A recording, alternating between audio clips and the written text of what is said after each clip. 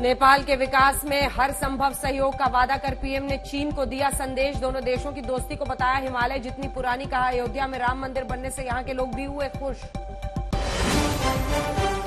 सर्वे के आखिरी दिन हिंदू पक्ष ने किया ज्ञानवापी में शिवलिंग मिलने का दावा। काशी कोर्ट में चिन्हित जगह को सील करने का दिया आदेश। कल सुप्रीम कोर्ट में मुस्लिम पक्ष की याचिका पर होगी सुनवाई।